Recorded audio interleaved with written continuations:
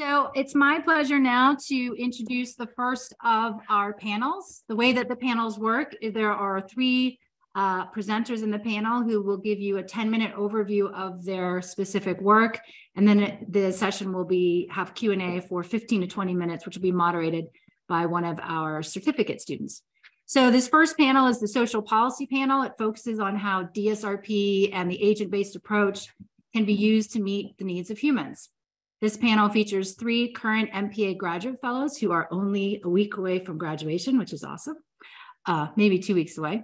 Uh, this panel is uh, going to, the panelists are going to share their insights into several important social policy issues, suicide prevention, the mental health of LGBTQ plus youth in the education system, and also the analysis of current trajectory of New York mothers' labor market outcomes. This panel is going to include three of my favorite students, Vimbai, Uriah, and Jillian, and is also moderated by one of our certificate students, another one of my favorites, Michelle Parks. So without further delay, I know we will start with Vimbai.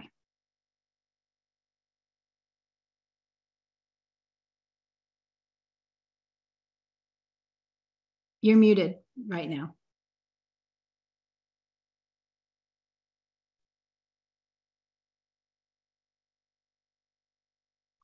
Nope. I cannot hear you. Does anybody hear her or is it just me? No. Don't worry, we build in minutes for this, so we're okay. Let's see if we can figure it out.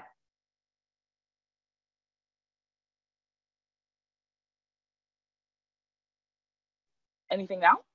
Yes, now we hear your lovely voice. Okay, now, perfect, perfect, you want to go ahead and share your slides and then we'll get you started. Yes. Okay. We're still on time, so don't worry. Just take a deep breath. It's all good. Okay. How is it looking? Can you see my slides now? Uh, I still see your beautiful face. okay, we will get to the bottom of this. Let's see what's going on here. No worries. So you just need to hit share your screen and highlight your slides. Yep, that's what I'm doing. Uh, it doesn't seem to be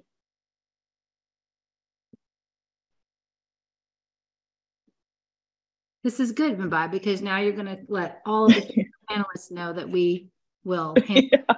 with grace and no problem. Yeah. so you should hit the share screen, the green button, and then the little character. Yeah, that's pin your that's exactly what I am doing here. Uh, it might be underneath one of your other windows. That's exactly what I'm doing right now. Uh, there you go. Oh, finally. Okay, awesome. Sorry, everybody. Oh, no, what I'm seeing is your screen and the audience uh-huh. faces. So that's not, the, you have shared a screen, it's just not your slides. Okay. So go over to your slides and, and you should be okay. Okay, so um, window. So now we know share screen works. We just have to find the right screen. Okay, great. Do we see slides now? No, I still see your beautiful face. okay, let's see what's going on here. So share screen, um, window, and share. Still nothing? Not yet. Hmm. I believe in us. Don't worry. We're fine. uh, do you have your slides, your slideshow open? Uh, yes, I do. Okay, so then I just click that and I'm pressing share now. Still nothing? No. Um, do we want to maybe um Yep. Uh, so uh, your, yeah, yeah. Why don't we do this? Uh, Alina will pin Uriah. Mm-hmm. Get Uriah will get you all ready to start, and then we'll loop Vimbai back in at the end. Sounds good. Thank All you. Right. We'll figure it out. All Hi, Raya. Look at that beautiful face. Another beautiful face. Now let's Hi. see if we get your slides up and then we'll get you started. I appreciate your flexibility. Of course.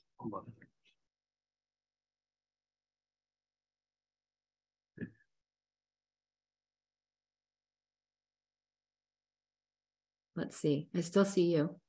Yes. Uh, let's see. Can you see it's good job. Yes, that's right. All right. Awesome. We'll let you get started and then you can introduce Jillian. Jillian will bring Vimbai back on and then we'll go to Michelle for moderation. All right, sounds great. Um, hello, everyone. My name is Uriah Blue. I'm a second year uh, MPA student studying at Cornell University. And today I'm really excited to speak to you about the issue of mental health in the LGBTQ plus youth uh, in our education system and uh, how I have applied an agent-based approach or ABA into exploring this topic. Um, so first, during this talk, I'll be referencing what's known as Title IX of the Education Amendments of 1972. And these type and Title IX has been instrumental in curbing the discrimination in the education system. However, Title IX currently does not extend these you know, protections to sexual orientation and gender identity. And this is part of an overarching wicked problem within the system. So the wicked problem I'll be speaking about today is really on the issue of discrimination and inequality in education, uh, especially as it pertains to sexual orientation and gender identity. And also the mental health consequences of the systemic wicked problem. Uh, so some interdependent factors such as federal, state, and school policies are major factors in influencing the mental health of LGBT youth and uh, public education. A solution to kind of help with this wicked problem was proposed on September 23rd of 2022. And this proposal would introduce new Title IX amendments to the Education Amendments of 1972. Essentially, these new amendments would extend Title IX protections to cover sexual orientation and identity uh, within federally funded education institutions. And as mentioned earlier, I used a ABA approach when researching this topic. So what is an ABA? First of all, um, it's what's known as an agent-based approach. And in systems thinking, it's a method that focuses on, you know, the individual agents and their behaviors and interactions within complex adaptive systems, also known as CASs for short. Um, and just why ABA? Uh, ABA really proved to be a fitting method, especially when examining these systems related to mental health and the LGBTQ plus youth. And ABA really helped me take a step-based approach to break down this really complex system with a lot of different actors, uh, especially make it into something a little more digestible. So distinctions, systems, relationships, and perspectives, or DSRP for short, is really an inher inherent to analyzing these three systems. Uh, I've identified, and those would be mental health, uh, education and Title IX. And you know, just a prevalent example of how these systems have really interacted with each other would be the Supreme Court case in uh, Bostock v. Clayton County. Um, and this was settled in 2020. But essentially, this case stemmed from the fact that Bostock was fired in 2013 for his sexual orientation. And the court ruled that he faced discrimination that was in violation of his Title VII rights of the Civil Rights Act. Uh, and in short, this case really became the foundation for these newly proposed amendments to Title IX uh, in regard to sexual orientation and uh, gender, gender identity. So when comparing the DSRP structure to empirical research, DSRP analysis uh, coincides with generally agreed upon findings uh, research from the annual review of clinical psychology found the, that minority stress theory can also be applied to sexual and gender minorities. Oh, apologies. Oh, sorry. Did not mean to do that. Okay. Um, yeah, so these can be also applied to sexual and gender minorities. And um, for example, like a meta-analysis from 2011 found that the rates of depression and suicidal tendencies are much, much higher in LGBT youth by a ratio of 2.9 compared to their non like queer peers. And to help visualize this complex system, I used ABA and DSRP to create a map outlining all the distinctions, systems, relationships, and perspectives that affect LGBT youth. And this screenshot is only like one very small part of this overall CAS system. Uh, in particular, this part of the map shows some of the relationships surrounding Title IX discrimination. And just in this example, we can see how the set precedent on the right side of the screen informs school policy on issues like bathroom policies, for instance, while the equal protection clause would help inform state policy on areas such as athletics. Uh, and on the left side of the screen, we can see the relationship shared between trans and nonconforming students as these issues of bathroom policy and athletics are directly impacting these individuals. So to fully express how complicated this issue really is, uh, I did create a GIF that kind of moves around through some of the more crucial parts of my map. Um, like for instance, how court interpretations of the education amendments have helped inform Title IX over the years. Uh, and it's provided like various exemptions such as private schools, non-vocational, and religious educational institutions. Uh, or, or, for instance, how seemingly minute individualistic characteristics such as factors like age range, personal nutrition, social relationships, uh, all share some sort of relationship with mental health. Now I'd like to break this down into something even more digestible, um, just in this CAS analysis. So salient agents, simple rules, and system level behavior. And first I wanna clarify that these are by no means all of the salient agents. Uh, this is just to make it more comprehensible. And you might also notice on the right side, uh, under system level behavior, I don't have anything listed out there.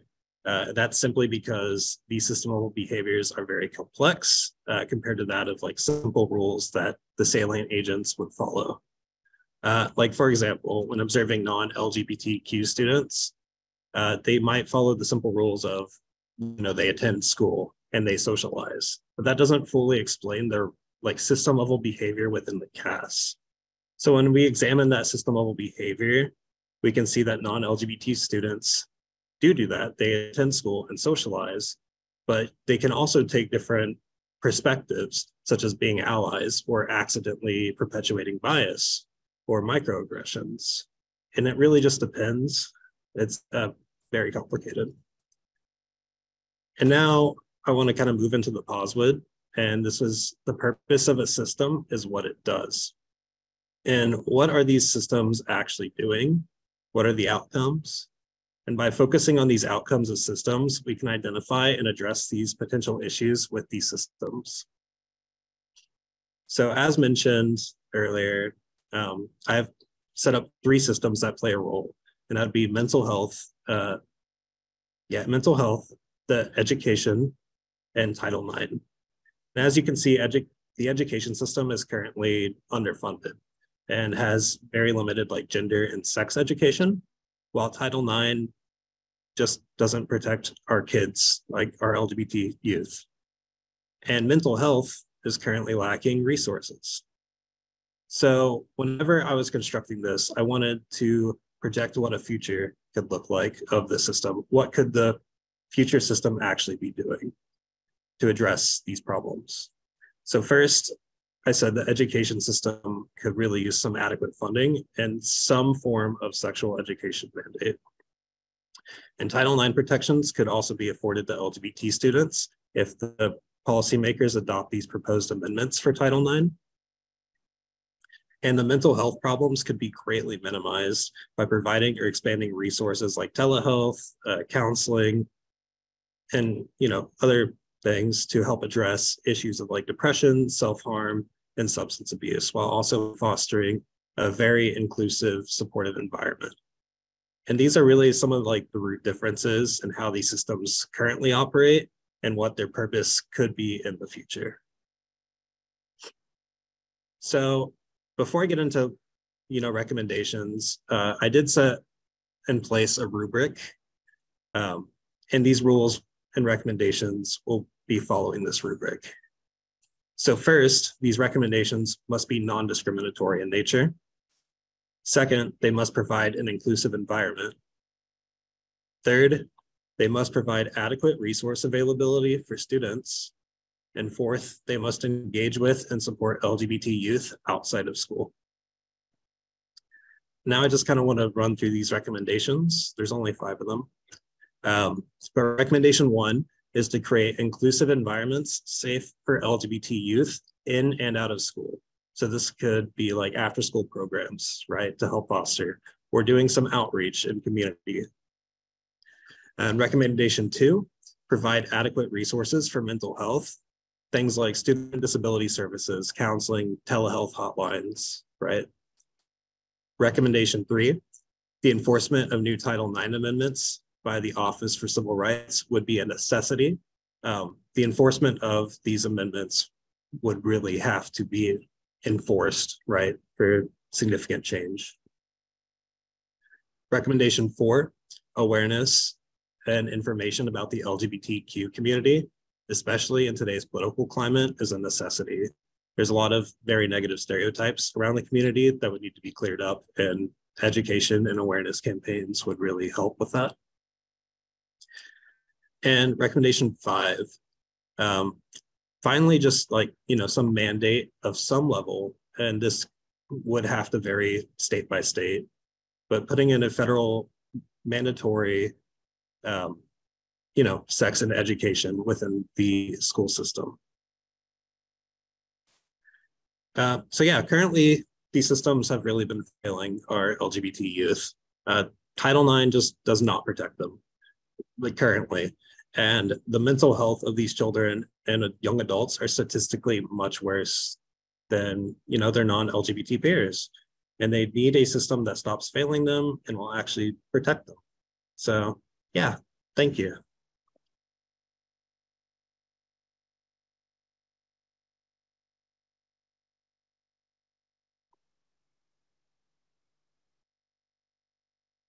Oh, and I guess uh, I should introduce, yeah, this is uh, my friend Jillian. We've worked together in the past as well. Hi. Um, so I am going to be presenting today on um, paid family leave and how it impacts working mothers. Um, and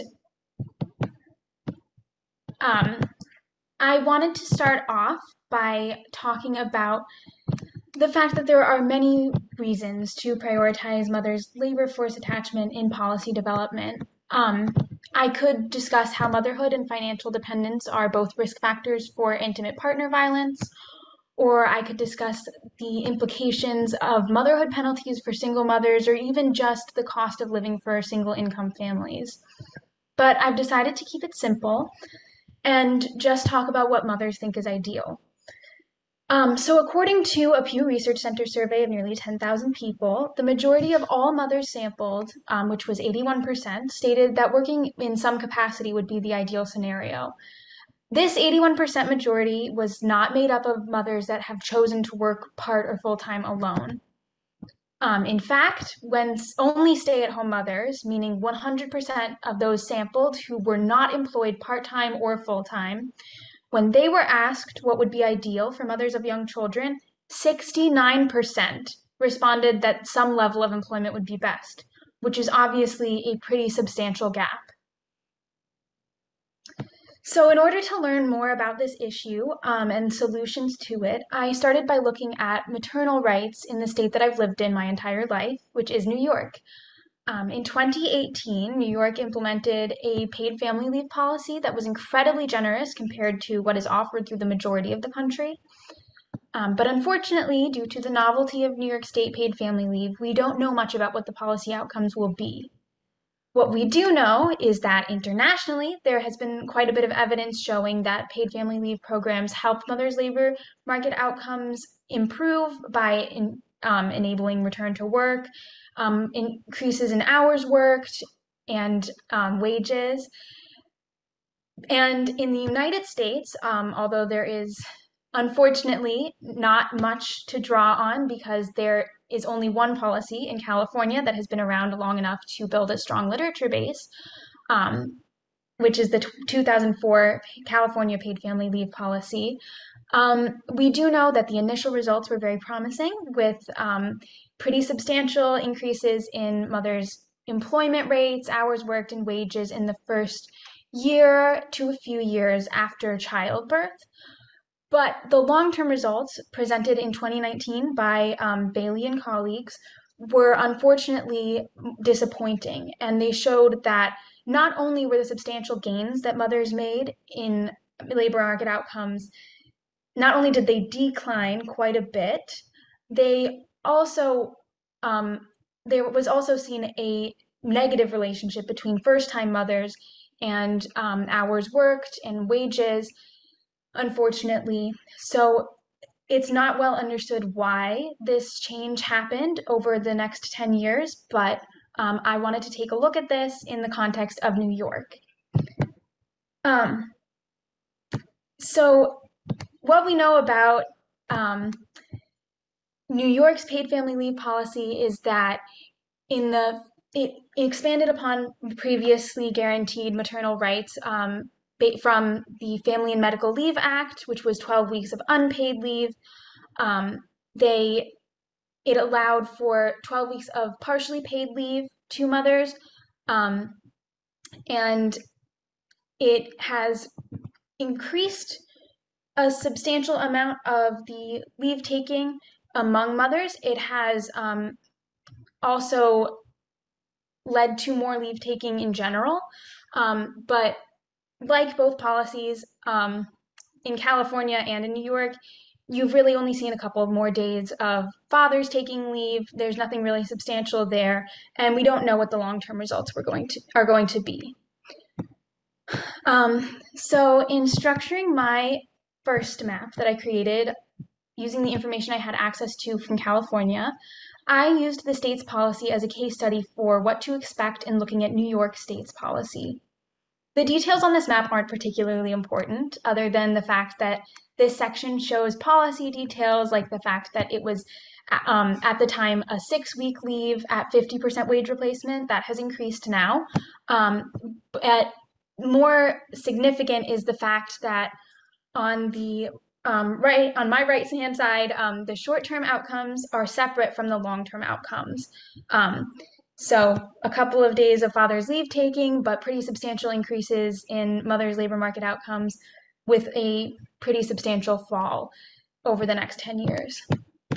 In New York State, although the policy details were slightly different, um, than California California's policy, there was no reason to believe that fathers will be taking more than a few days of leave, or that the outcome structure will look very different because New York's policy was not designed with a split between short and long-term outcomes in mind. So, in viewing the purpose of the California system as what it actually does, which is prioritizing short term and unsustainable gains over real improvement, and understanding that New York's system is designed with the same basic structure it's clear that without intervention, paid family leave in New York State may follow sim- a similar trajectory to what we saw in California. In order to figure out a starting point for a system that does not reproduce the same disappointing long term outcomes, I looked directly at what mothers had to say. Um, I am working on this for my master's thesis and was lucky enough to have data from my pilot survey. Um, so, in order to bridge the gap between PFL systems and their outcomes, I created this approximation of the ideal system using data I collected, um, asking mothers what their ideal leave would be. I had 14 responses um, to that question in particular, and they offered pretty detailed um, qualitative data on what would be best for them. And I combined this with the Pew Research Center, da- Center data that I mentioned at the beginning of this presentation for um, modeling the long term outcomes. So, the ideal leave policy structure was based on a synthesis of recommendations offered by 14 different mothers throughout New York State. Um, and among the mothers that mentioned pay, they often said that full pay would, would be ideal. Um, they, the majority stated that they wished that they could have around six months up to a year was pretty frequently stated. Um, and they also stated that it would be nice to have um, a transitionary period back to work and that they wish that their partners could have the same type of leave time. Um, now, once I had these three maps to compare, I was able to start a CAS analysis by isolating the system's most salient agents, which were working mothers, working fathers, employers, and the economy. Once I identified these agents, I was able to determine their simple rules and the behavior that occurs as a result. And this included things such as birth mothers requiring recovery time and therefore needing to take leave immediately after giving birth, families needing to maximize their income and therefore one parent, typically being the father, needing to stay at work full time. For employers, an example was that they needed to minimize immediate employment gaps and they therefore deal with employee absences reactively. Um, and then one simple rule that is very relevant to myself and everyone watching this talk right now is that in order to maintain the economy's current structure, people need to continue having kids.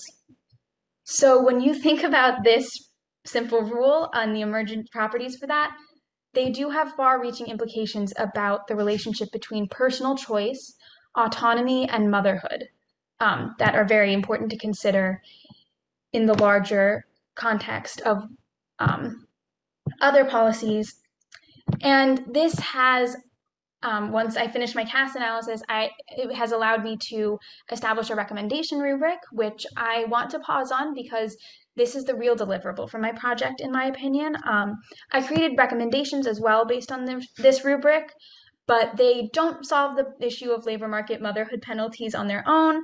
For example, I'm very um, aware of the fact that they fall short for su- offering support necessary for single mothers. However, I do think that this rubric can be used and also expanded to create solutions that take a multitude of different perspectives into account without reproducing the same outcomes. So, looking at leave structures that make sure that no mothers are rushed back into work when they aren't physically healed yet, um, making sure that no policy encourages fathers to forego leave, making sure that you're not disincentivizing childbearing are all really essential for making sure that these policies are successful.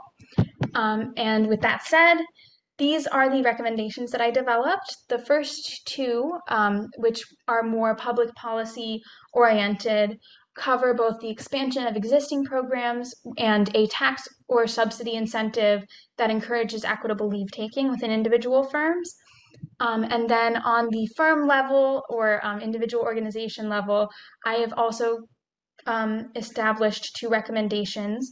Um, first, focusing on smoothing out leave taking in a way that is beneficial for all parties. Um, but I am very excited to continue working on this topic more, and especially now that I have the recommendation rubric that I produced, I am hoping to continue looking for policy recommendations as more data become available from state level policies in the coming years. Um, so thank you all so much for listening. Um, I'm excited to hear any questions, and I am also very excited to announce Vimbai. Um, Thank you. So let's try this again, guys. Thank you so much, Eleanor, for um, having my slides up for me. So the project I'm about to share with you guys today came as a result of the passion that I have for my uh, college, community, and home uh, here in Ithaca. Back to the first slide. Yeah, right there. Okay, so um, yeah, let's keep it there for a little bit. So the project I'm about to share with you today, guys, came as a result of the passion that I have for my community here um, in Ithaca, New York. This body of work was initially intended for a class, but uh, soon evolved into something a little bit more special and significant. So my talk today was designed to raise the awareness uh, of suicide prevention here in Ithaca, New York, uh, through my uh, paper that I wrote called The Multi-Agency Approach to Suicide Prevention. Above, I have this quote that I found is very simple, but yet eye-opening. And it simply says that there is no health without mental health. So the irony in this uh, particular statement is that the mental health, which I feel like is often neglected or given less priority in healthcare uh, systems, as well as conversations, can actually play a significant role in determining the overall health outcomes that we see today. The statement just goes to highlight the need for a more holistic uh, health approach, healthcare approach that recognizes that interconnectedness between the physical health systems that we see, as well as the mental health systems that we see. We can go to the next slide. So when we interact and look at the systems that we care about, like on a daily basis, what we tend, people often see the systems they care about and all they see is the emergent properties, or simply put the observable outcomes of these systems. The observable outcome that brought me here today to be able to present this to you and to write this paper that I wrote is that I found that Tompkins County has averaged over 12 deaths per year since 2016. This is a cause of this is a cause for alarm for a city that is a home to such so many several colleges. So through learning systems thinking, I discovered that the solutions um, that we that, that will solve these emergent properties as well as these observable outcomes of the VUCA complex adaptive systems we care about so much lay in understanding the underlying dynamics that drive the system. Next slide, please, Eleanor. So concerned concerned about like these suicide death numbers in Tompkins County, I set out to understand the suicide prevention framework of this county through applying the ABA uh, approach, also known as the agent-based approach. The very first thing that I did was I set out to map the system using a tool called Plectica. And as humans, I find that we have these inherent biases based on our life experiences that have a tendency to influence how our mental models, uh, how, the, how our mental models are formed and prevent us from objectively examining a system. So our mental models, as a lot of us will know, are shaped by our individual life experiences as well as biases. And these can lead to us imposing our own beliefs as well as expectations onto the system rather than taking a step back and understanding it for exactly how it actually functions. So my main focus on this stage of the ABA uh, process was I wanted to make sure that I checked my biases at the door and focus on listening to the system and really understanding what the system set out to do. Next slide, please. And the system that I found looked a little like this. And it was very complex and comprised of intricate webs of causality that I was interested in finding out where they were going and coming from. Next slide, please, Elena. So this is actually a really fun picture because this is just like an overview when I zoom out of my Plectica map, what it looked like. And this is after obviously many, many rounds of um, just getting feedback from people uh, through the loop. And this is what it looked like. Obviously, um, there's no way it could all fit on here. So this is all I could get on there for you guys. Uh, next slide. So the next step is that I began to perform a, a CAS analysis, which meant I set out to identify all the key agents in my system and the simple rules that they followed that were driving the resulted POSIWID or the outcomes that we were seeing, which is, in generally speaking, the things that were driving uh, the current system that we were finding existed. So the first, the first main agent was uh, the state government. And one of the rules they were following was that they were deferring all the prevention duties, all the suicide prevention duties to the local government. And that was promoting a lot of silos as well as leading to decentralized systems. Social workers was the next uh, agent that I looked at. And I was finding that the rule that they were, the main rule they were following is that they needed to stick to a budget due to the limited resources that they had available, which was leading to them sacrificing low risk patients, which actually they found later became uh, high risk cases due to this neglect. And then the medical providers, another key agent, were bound by excessive privacy laws that we know currently exist um, in this county uh, or in the state rather, surrounding suicide prevention and disclosure of information surrounding this, um, you know, these deaths. And due to this, we're finding that there was a lack of timeliness in the reporting, which was leading to unreliable suicide data collection. Next slide, please, Eleanor. Now we kind of reached a crossroad, which is that before we could lead into even getting into recommendations, we needed to come up with what uh, I like to, what, what the Cabrera's refer to as the recommendation rubric. So I like to think of it as a litmus test, which is that anything that is going to count as a recommendation must first pass this test. And in this test, what I had is I have a set of uh, limitations that I feel, or rather um, requirements that I feel every recommendation must uh, fulfill before it can be proven uh, to be moved forward with. And all the recommendations that I found that I'm going to present to you today, all, all do not violate all of these things that are set out here in this recommendation rubric. And one of those things is we needed to make sure that the system was moving from a space of being proactive to being reactive.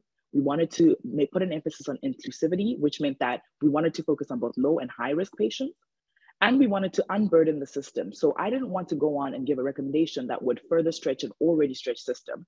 So we wanted to make sure we're making use of the resources we have, or we were adding funding to the, to the system. And the next thing that we wanted to make sure, I wanted to make sure that we're focusing on was, wanted, I wanted to make sure we were discouraging silos, because that is the main reason for the POSIWID that we see today. Next slide. Um, and now we get into my recommendations. Next slide, please, Elena. So when we step back and we look at my recommendations, the first one that I, looked at was I wanted to make sure that we engage policymakers to deploy additional funding into the existing system, as well as to redesign patient intervention protocols so that we can make sure that we're moving towards a proactive system versus a reactive system. And I also wanted to make sure that we mandated the standardized intervention because one of the main issues that I was seeing is that there was a consistent discrepancy across all the systems of the different intervention protocols that were being applied. And I found that this was another major reason why we're failing to see the results that these initiatives are meant to achieve. And another thing that I was finding is to tackle that decentralization of information, which means that we need somebody to be able to walk into the ER today and walk into a therapist's office the next day and all the information from their previous visit has already been shared and is available. And how we can do this is by coming up with a centralized electronic data sharing platform um, to be able to do this. Next slide, please, Elena. So all of this said and done, like the message, uh, the message that I want to leave you all with today is that we all need to remember to be human and to care for one another. I think that the world that we currently live in, we often get so caught up in our daily routines and responsibilities that we forget to check in. Um, but a simple phone call or message can go a long way in brightening somebody else's day. So thank you so much for taking the time to listen to this. And yeah, and being patient with me with all of my fantastic technological issues today.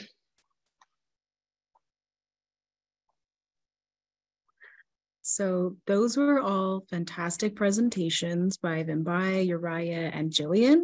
And we do have a couple questions. Um, the first are gonna go to Jillian.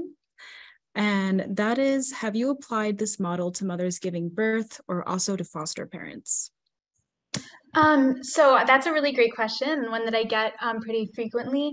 The larger context for this project is that it is um, small part of my uh, master's thesis analysis, and that is focusing largely on physical recovery for many of the questions that I um, asked in interviews um, and how physical recovery post birth related to people's leave time. So I am not focusing in this study on foster parents or adoptive parents, but I am very interested in um, exploring this topic further in the future and would love to look at um, that topic a little bit more closely as well for a future project.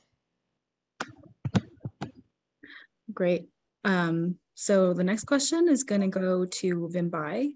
And this person, um, they asked if this data, the data sharing system that you're talking about, they wonder if it already exists. They're referring to something called EPIC. Um, so if you could maybe touch on that. Um, yes, so I don't have the specifics uh, regarding the name of the data uh, sharing platform that we have here in uh, the county, but I am aware that there has been a system that they're using to be able to share electronic data. But we're finding that um, one, a lot of the places don't actually have the resources to be able to access the system. So that might be potentially a funding issue.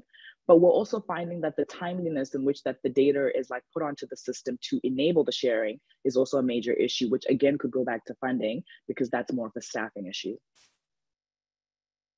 Okay, and to build off of that question, um, from your research, like has there um, been any other insights that you found from the medical system and any other silos that you've identified? Mm -hmm. Honestly, that's a that's a very good uh, question. Uh, one of the main silos, especially when I speak specifically to Ithaca, New York, is just through doing a lot of interviews with all the different uh, initiative leaders that I'm finding here, is that I'm finding that a lot of people are duplicating, you know, efforts. And what I mean by that is that you can speak to one uh, data coalition group that we have that's working towards finding, uh, you know, getting us timely information for suicide prevention. But at the same time, on the other side of the of town, you could have, um, you know, uh, another smaller group doing something similar. So I wonder, are we? Would we be better? Is it a better use of resources if we can bring everybody together so we don't have you know, two groups of people or three groups of people doing the same thing. So outside of just the centralized electronic system, I wonder if there's, you know, a platform where we can have regular check-ins with all the major key players in the city, speaking speaking specifically to Ithaca, and we can try to make sure that everybody's set out doing something different so we're not wasting resources or time. Interesting. Mm-hmm. Um, so the next question that I have is going to go to Uriah. Um, and this question asks, um, because Title IX is a federal legislation, how does that interact with the state system? And maybe if you can um, touch on how the federal versus state um, laws work in the United States for our international audience. Um, if you can just talk about that. Right, yeah, so, uh, you know, as you know, Title IX would be a federal law. Um, so of course that would supersede anything that would be in place currently in state legislation. Um, however, there you know is some things happening right now because Title IX does not currently extend to you know trans or non-conforming people or uh, let me rephrase that since it doesn't really extend to protecting sexual orientation or gender identity for instance um, you find in places especially in like more southern states particularly like texas or florida where there are direct laws in place right now to discriminate against people on the basis of sexual orientation and gender identity within the school system. Uh, and there's also this current thing with, you know, how engaged should parents be within that child's curriculum? Should sex education even be taught? And a lot of this is because that's not really covered currently federally. Um, so it, it does differ from state to state, but with these new amendments that were proposed last year, uh, if these are indeed, you know, adopted, then we would see more federal regulation. Wow. Um, great answer. So the next question that I have, um, it's can be answered by all of you. And so how about we go one by one? And this question is, what did you find most useful in applying a systems thinking approach to these issues um, of justice and equity? Jillian, do you want to start? Um, sure. Uh, so I think that a lot of what the systems thinking approach did um, to help me uh, kind of synthesize a lot of my thinking about this project, which is um, motivated by questions of justice and equity in large part, was that it allowed me to just put down the facts of what is happening, what um, could happen and what the ideal situation was. And that um, allowed me to kind of cut through some of my personal biases in making recommendations um, and actually consider perspectives that I hadn't in the past. And it was very helpful for um, doing that. Vimbai. Um, yeah, for me, I think, you know, two things. The first thing is I think a lot of the current um, standard problem solving methodologies that we apply, so something random would be like, you know, you can solve every problem in five whys.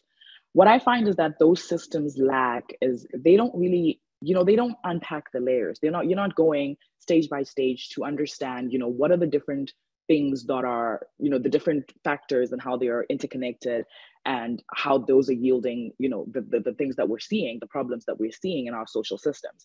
So I appreciate that, you know, systems thinking as a whole, the ABA approach allowed me to be able to go layer by layer and attempt to solve my problem.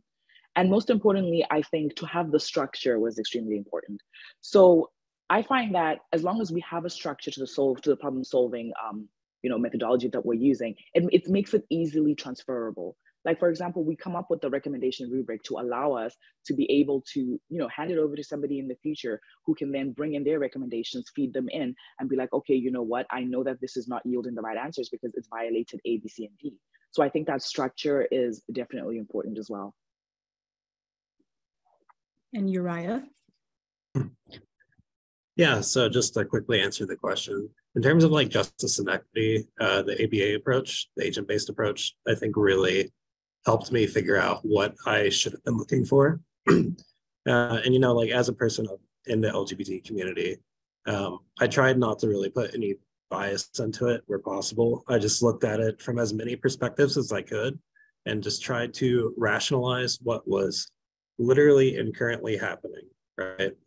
And then, um, as Vimbai mentioned. Uh, and then I use that to help inform some of the recommendations as well as the rubric, because the recommendations can change. Those are all very dependent on if these circumstances happen. But the rubric is a good you know launching ground for maintaining equity and justice within this CAS system um, and i hope that answers that yeah great fantastic um, so we might have time for one or two more questions. And so this question is for Vimbai, and that is um, after you produced this, um, what you learned from your systems thinking project, did you share this with the organization in Tompkins County and did they, how did they respond to it? So um, this is actually a very funny question. So um, as I previously stated that like, you know, this project, you know, has kind of a long history.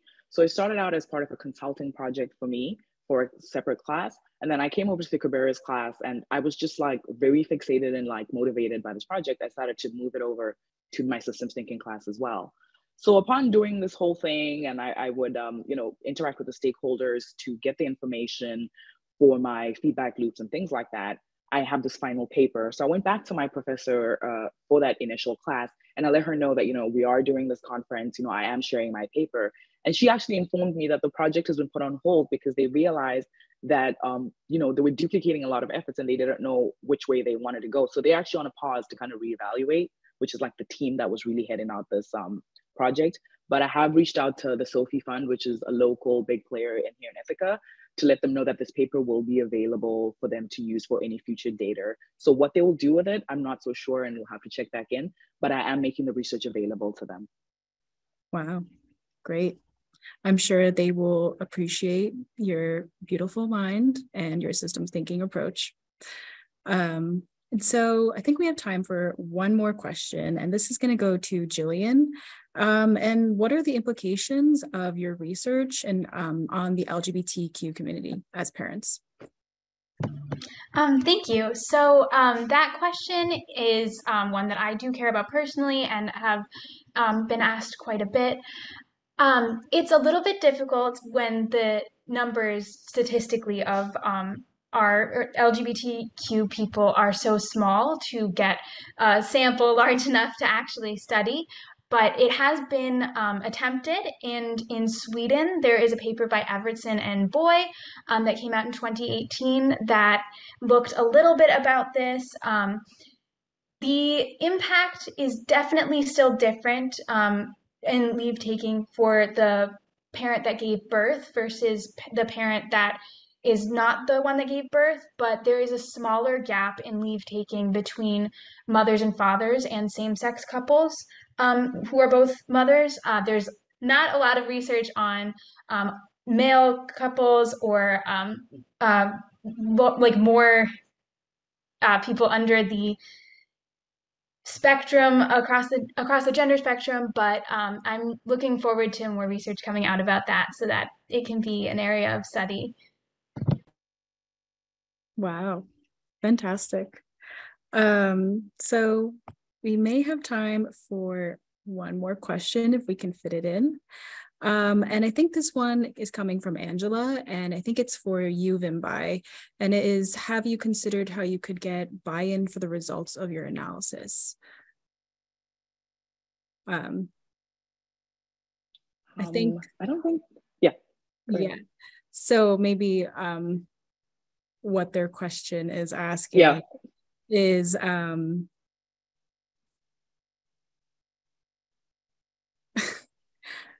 I guess you kind of already answered that when you're talking about what you're doing with your report afterwards.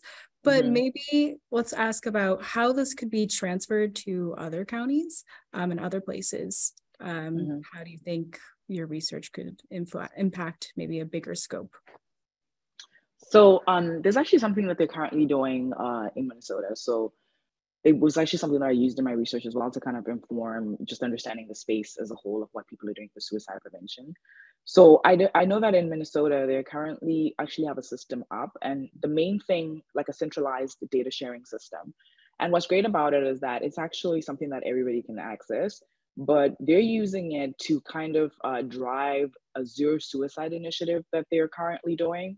So I, I'm actually, I know that this is something that has, you know, been tried and tested somewhere else, but I think that definitely a lot of other counties and like states that are not using this could really learn from it. I think just from a healthcare perspective, centralization of data, whether or not that's in suicide prevention, that's in regular, you know, physical health care, I feel like is a good place to be at, especially with where technology is going.